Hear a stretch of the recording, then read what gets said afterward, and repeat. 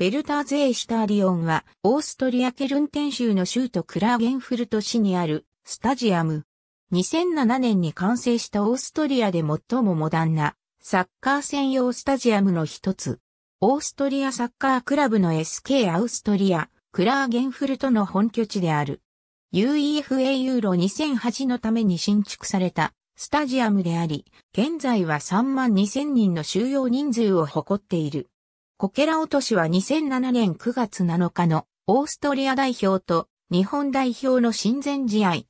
現在はヒポ銀行グループがスタジアムのネーミングライツを獲得したことからヒポグループアレーナと呼ばれていた。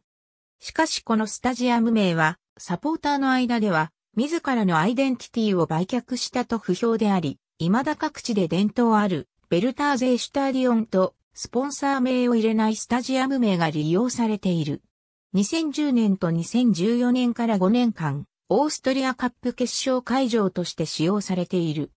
2016年8月6日には、フランススーパーカップが開催され、パリ・サンジェルマンがオリンピックリヨンを相手に4の1で勝利を収めた。ありがとうございます。